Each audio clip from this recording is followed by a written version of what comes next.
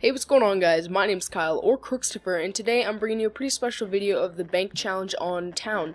So first off, let's start off this video by just, I just want to thank you guys so much for all the feedback that I've been getting on the last videos. It really does mean a lot, and it really does help a YouTuber so dedicated like me grow.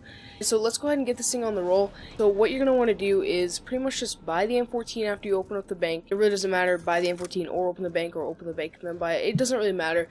But um, all you're gonna do is you're gonna train in here, and you're gonna see how long you can last. And I must say, for my Nuketown challenge, this isn't as hard as it.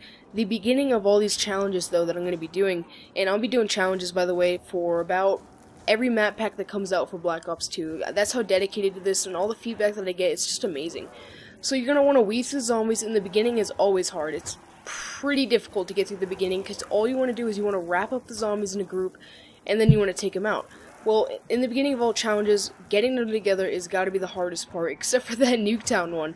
They're always a part in that, and it's just extremely difficult. So that's pretty much the challenge, and pretty much all you gotta do is complete the round.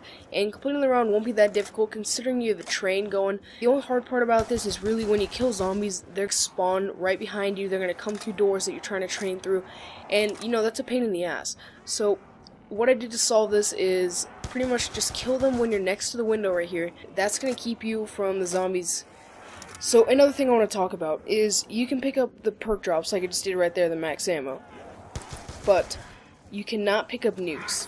You can pick up instant kills to complete the round faster, and like if you want to get a better time on completing the round, or you know you you can make it hard on you. Don't pick up drops, except if the drop's in the way, you need to go through there. I mean, obviously pick it up, but just realize if you do pick up a nuke and post this as a video response, I'm not really going to count it because getting nukes is pretty much cheating to complete a round where if you were to get an instant kill, you're still killing the zombies.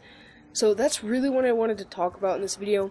Um, in my Nuketown one, all you had to do was get a horde, and like a horde is pretty much just a group of zombies, like the whole group, until you start killing them and once you get the horde you pretty much you did the challenge and on the Nuketown one I'm challenging you guys to complete the round completing the round is pretty much a 99.9% chance you're not going to complete the round. It is so difficult. It's just unreal. So anyways I did get the instant kill right there and it helps a lot and there's a nuke so I'm not going to get it. Do not get the nukes guys. It's it's not going to count. It's kind of cheating and I guess you could say instant kill is but it's not at the same time. So I'm going to go ahead and allow that but pretty much that's the video right here. Here's the challenge, and I'm going to be uploading a ton and a ton of challenges. I'll pretty much be uploading challenges in the new map pack. Um, I hear there's a new map pack coming out, and I did a video on it, so if you want to check that out, it will be in the description. And yeah, guys, so that's pretty much the challenge. Just complete the round overall. And one more problem I want to notice about this is, um, if you don't kill the zombies in time, they're going to die off and start spawning behind you again. So you kind of want to do this as quick as you can. That almost screwed me over in this.